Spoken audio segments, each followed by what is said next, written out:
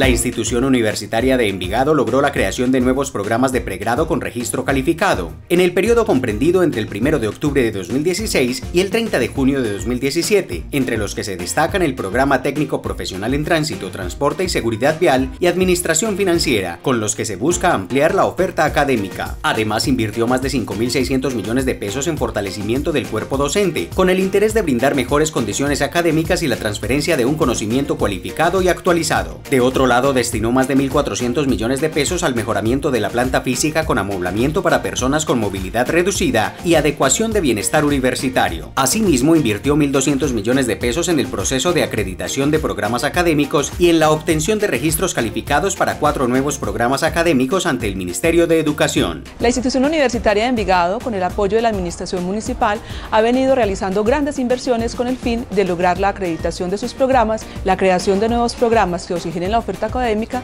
la cualificación de sus docentes y la modernización de su infraestructura. Vivir mejor, un compromiso con Envigado.